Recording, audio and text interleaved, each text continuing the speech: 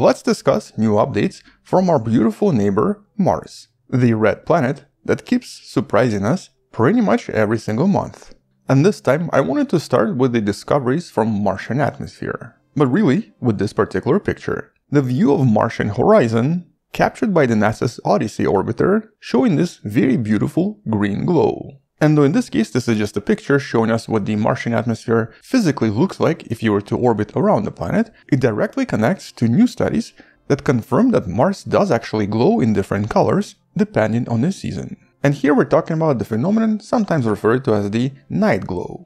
The atmospheric phenomenon that seems to be present on pretty much all planets in the solar system. But the colors themselves usually differ because of the process that's involved here. Here, during daytime, the light from the sun splits apart various molecules, producing individual atoms. This is known as photodissociation. These atoms then travel across the planet and will usually end up on the night side, where they basically rebuild themselves into various molecules, in the process releasing light. And so here on Earth, quite a variety of different colors are produced in the process. On planets like Jupiter and Saturn, usually this is in much higher frequencies, so it's normally ultraviolet light, but it turns out that on Mars, it produces green colors. And this is due to the breakup of the CO2 molecules, very often in the upper atmosphere, 40 to 150 kilometers in altitude. But intriguingly, a recent study discovered that there is at least one more glow at much lower altitudes produced by oxygen. And here this was caused by recombination of oxygen atoms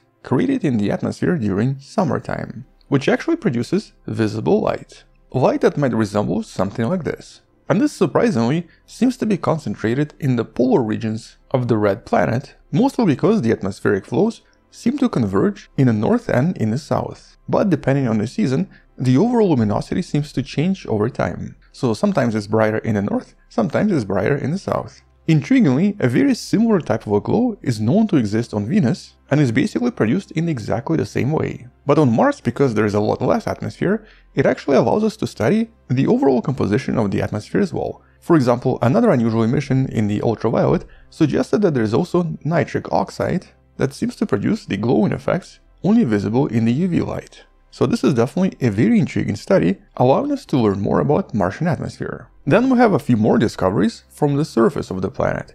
And here one of them is actually kind of exciting. This literally shows us the ice map, the water ice map of the entire planet. Although mostly focusing on the northern hemisphere, because that's where most of the discoveries have been made so far. But this doesn't show us ice on the surface, it shows us ice hiding underneath. With a lot of the surprises being in regions we didn't expect, actually surprisingly close to the equator. But more excitingly, this is an interactive map, the link for which you can find in a description. So here, if one day you find yourself in need to plan some kind of a mission to Mars and you need a lot of water, use the map. But for me, the most interesting part of this is how this was discovered and confirmed. Because a lot of this was confirmed by looking at various ice revealing impacts. Basically various meteorites exposing the surface and then spewing ice all around the crater. And because there are so many collisions on the surface, this allowed the scientists to determine exactly what's underneath. For some of the craters, by looking at how fast the ice evaporated, they were even able to determine what sort of ice this was, suggesting that it's basically 99% pure water. And because some of these locations are relatively close to the warmer equatorial regions, it presents us with a lot more potential landing sites for any kind of a crewed mission. And so there's definitely a lot of water ice hidden underneath the Martian surface. And speaking of impacts, something else was discovered not so long ago by literally listening to the impacts as they happened and then reading the seismic data from the actual vibrations they produced. This was of course done by the now retired InSight mission, and so for approximately 4 years between 2018 and 2022, it observed 18 quakes produced by various impacts that allowed the scientists to try to figure out what's inside the planet. In other words, they were able to analyze the internal structure of the planet, revealing its layers. And although the initial discoveries suggested that the core of Mars might be a little bit bigger, the recalculations, based on several quakes produced by these meteorites, determined that the core here is approximately 1650 kilometers in radius, but seems to have a somewhat unusual layer of molten rock right above it.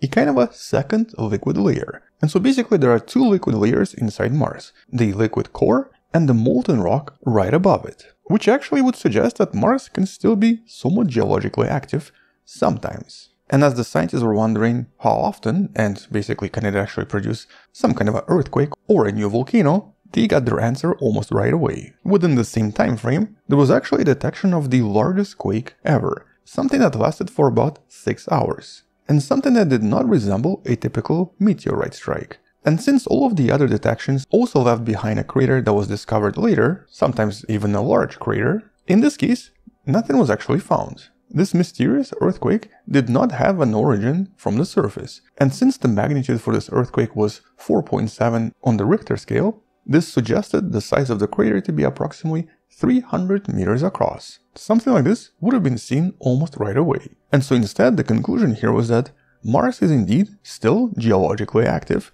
produces earthquakes, but exactly how is currently unknown.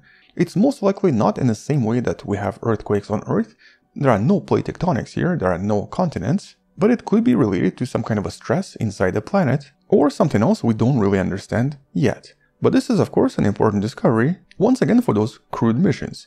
If we go to Mars, we have to be aware that not only are there meteorite impacts, there are also earthquakes, and dust storms, and no air, also radiation, and most importantly, no fast food or Starbucks coffee. So yeah, I'm definitely not going. But there were some other discoveries from the surface and from just underneath the surface from another mission, specifically the Zhurong mission by China. And here this was the result of ground-penetrating radar discovering something at a depth of about 35 meters underneath.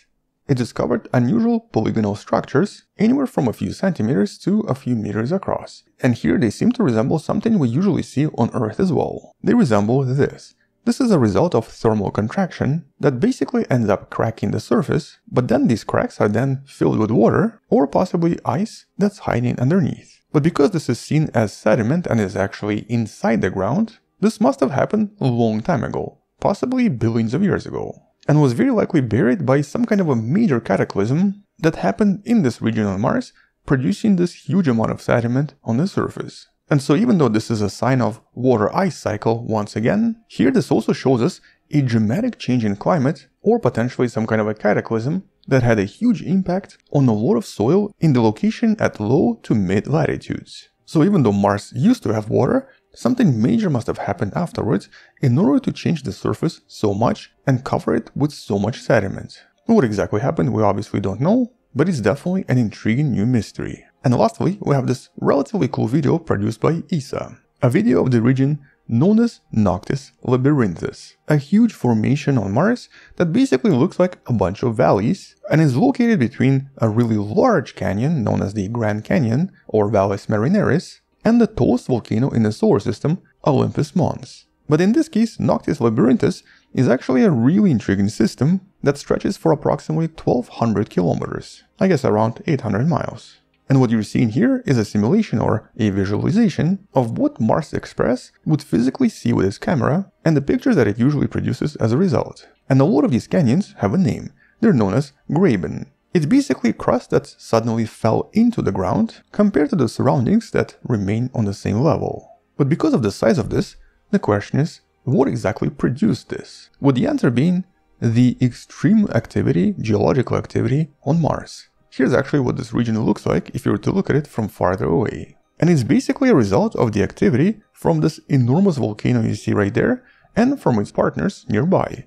As a lot of this volcanism started, it was so intense that it actually caused huge areas of Martian crust to start arching upwards and become stretched in the process. And this enormous stress on the Martian surface started to produce a lot of faulting along this entire region, with large chunks of the surface falling underneath and forming various canyons and valleys, some as wide as 30 kilometers in width. And so basically pretty much all of this is a result of extreme Martian volcanism. So powerful and so dramatic that it kind of reshaped the surface of Mars, making it twist and stretch in a certain direction. And this video helps us visualize everything.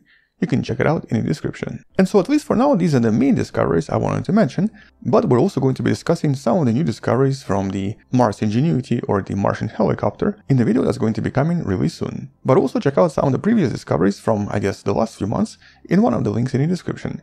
Thank you for watching, subscribe, share this with someone who loves learning about space and sciences, come back tomorrow to learn something else, support the channel on Patreon by joining channel membership or by buying the Wonderful Person t-shirt that features the mission to Mars as well. Stay wonderful. I'll see you tomorrow. And as always, bye bye.